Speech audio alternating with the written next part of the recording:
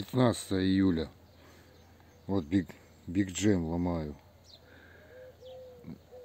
Короче, я смотрю, там нижний лист у него ну, как бы уже эти некрозные такие пятна коричневые есть. У этого нижний лист. Тут вообще это тоже желтый, ну то ладно. Но этот еще зеленый, а уже у него по краям и желтый он. Этот уже, короче, он оставлять его никак. Чтобы дать вверх ему расти самому пустой, это надо по-любому низ подломить. Ну, санитарная там или как, ломка.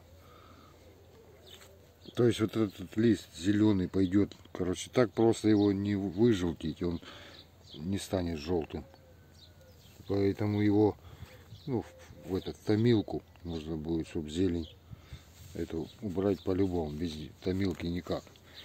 Ее просто не, это, не, не избавиться от хлорофила от этого, только в томилку. Так что томилка надо обязательно.